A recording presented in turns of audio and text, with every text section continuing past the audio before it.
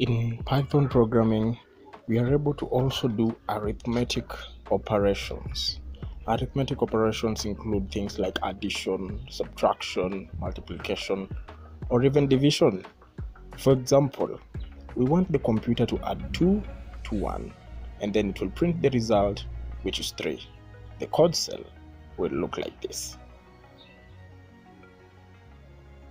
Now take note of something.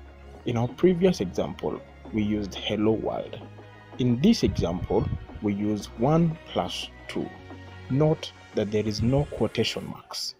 We put quotation marks to indicate that whatever we, are, what we want to print is a string. But here at this point, we are printing numbers. We do not need to use quotation marks. Another thing that we can do is we can also do subtraction in Python. For example, let us subtract 9 minus 5 it will bring us 4 the code cell will look like this.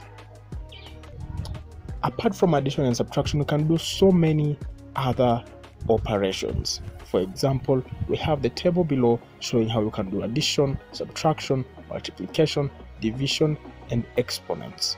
The symbols are shown there in python programming you are also able to control the order of operations in long calculations using parentheses. For example, if we have a long operation including 1 plus 3, multiply the answer by 9 minus 2 divided by 2 and raise it to power 2. This is how it will look like. The parentheses will control the order of operation, meaning what will be worked on first. The general rule that is used in Python is called PEMDAS. PEMDAS stands for parenthesis first, exponents next, followed by multiplication, then division, then addition, and finally subtraction. That is the order of operations and the rule that Python